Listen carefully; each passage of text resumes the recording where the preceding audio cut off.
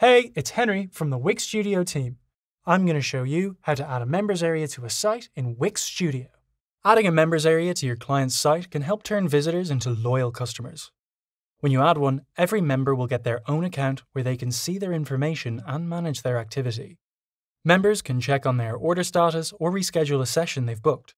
In this tutorial, you'll learn how to add a members area to a site, choose which tabs to display, add exclusive content for members, and how to manage those members.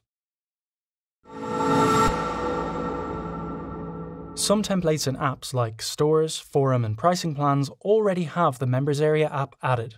So if you see the member page in your pages panel, the members area is already installed. But if you still need to add the members area, click App Market and search for Wix Members Area.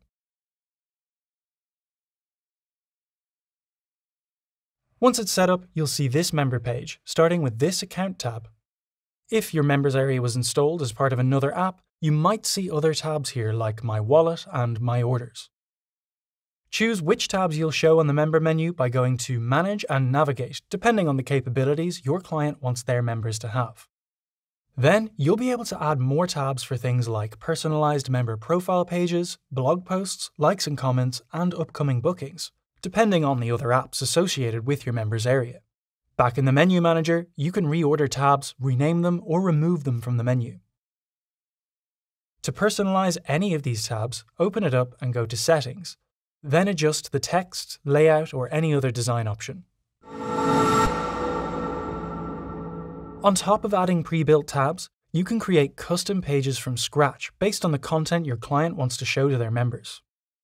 These are blank pages that can be customized for any kind of content, like how-to instructions, podcasts, and forms. By default, member pages are member restricted, but they can be even more exclusive, so only members with a specific role or pricing plan can access them. To add a private member page, click Pages, click Add New Page here at the bottom, choose Add under Member Page, then go to More Actions and Settings. To limit the page to specific roles or pricing plans, click the Permissions tab and choose to allow access to all members or only selected members. Then, if your client only wants to give specific members access, change the roles here. Or create custom roles for different member types and provide access to specific groups of members in the Page Permissions menu. Once you create a custom page, it'll automatically be added to the login bar menu. Once you make the members area live, visitors can sign up by clicking the login bar.